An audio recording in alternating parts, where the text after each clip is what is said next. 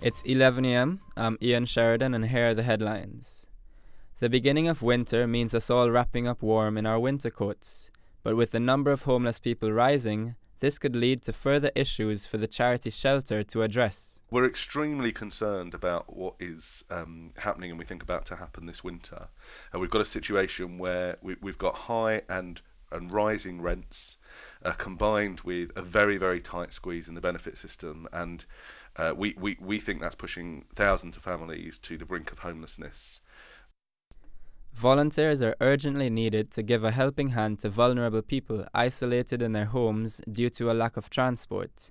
The long running initiative, Good Neighbours, based across Hampshire, requires volunteers to help by driving people to the hospital, dentist, running errands, or by being a friendly face. Winol got the views of Graham Wyeth. Some clearly are also supported by broader families who are local, but sadly, some of them don't have um, family either in or adjacent to the area. Sky News has led an investigation which has found that plastic companies have denied claims that they have tried to silence critics of combustible building insulation. The investigation began five months after the horrific incident at Grenfell Tower, and Sky News has found that this has happened several times. A record number of international students were accepted onto UK degree courses last year. Official numbers show that the amount of students accepted went up by 5%, and the number of applying passed 73,000. With Christmas less than a month away, the sales have been driving shoppers in.